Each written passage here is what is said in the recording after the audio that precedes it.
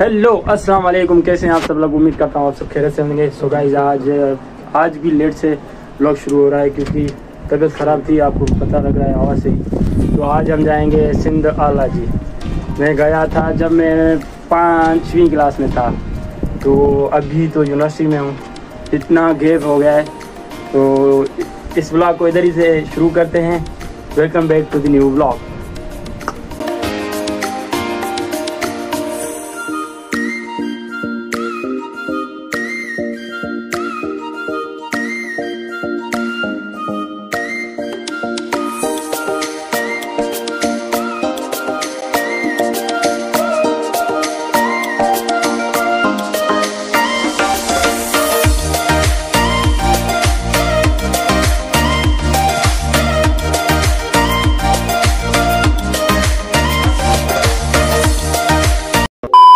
यार सिंधाला जी आ गए। अभी आपको दिखाते हैं यहाँ पर बहुत कदीमी कदीमी चीज़ें पड़ी हुई हैं।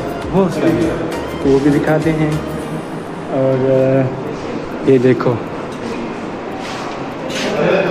ये शुरुआती था।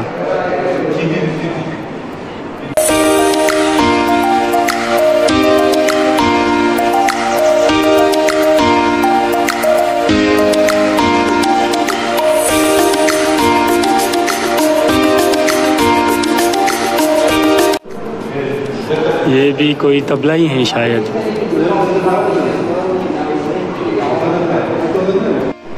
ये वही कदीमी चादर हैं या शायद कुछ और है।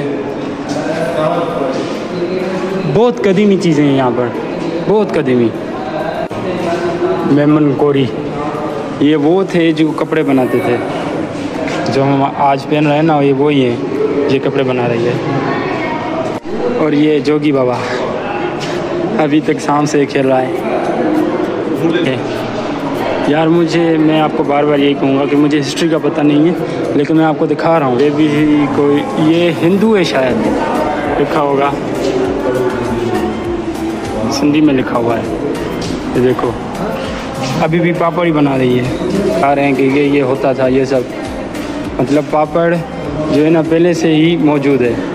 अभी नहीं आया। ये जो भी है ना ये घुंघरू, कड़े, यहाँ गिलास वगैरह, ये सारे चांदी के हैं। सारे चांदी के हैं। ये देखें इधर से। फिर यहाँ पर यहाँ पर पायल है। ये हो गई शादी की रस्में। अभी भी हैं, शादी की रस्में। ये हो गई तबला बाजे वाले। वहाँ पर ये रस्म होती है जो चावल के साथ। ये घर हैं पुराने, ऐसे ही होते थे। ये देखो, ये कैसे खुश है। ये मुजस्मे। जो मिट्टी से भी बनते थे और कुछ और भी हैं। लेकिन शायद ये मिट्टी से बनते थे। ये रेफरी है, देखो। मैंने फ़र्स्ट टाइम देखा है ये रेफरी।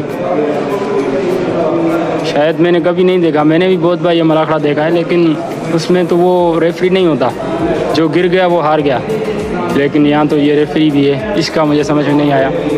ये है कोट डिजी ऊपर जो देख रहे हैं आप, ये उनके ये खंजर है शायद, और ये तलवारें ये खंजर। ये लारकाना में जो पुल हैं ना, ये उनका है ना शायद। पुल और जो नीचे रोड वगैरह हैं। ये कुछ और है।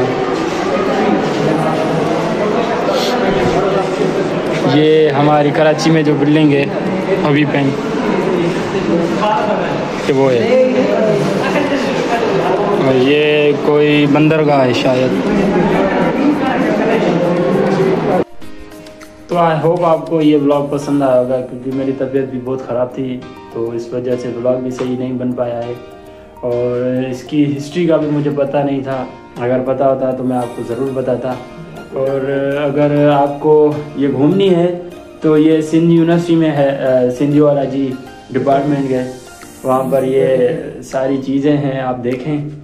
और टिकट भी है शायद उसकी बीस रुपया।